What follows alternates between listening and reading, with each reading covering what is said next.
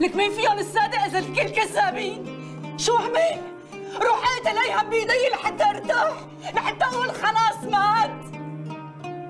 الله لا تقولي هيك لا تقولي هيك. ليش لحتى ما أقول هيك؟ ولامتى بدي ضل ساكتة؟ قولي لي لامتى لامتى بدها تضل الناس عم تستغبيني وتستشحشني. ولك أنا قطعت المصاري عن تم ابني وعن تم بناتك مشان أعطيهم لواحد نصاب.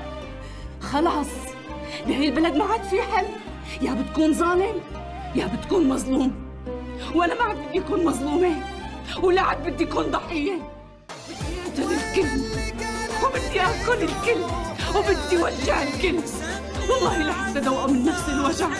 والله لدوقه من نفس الوجع.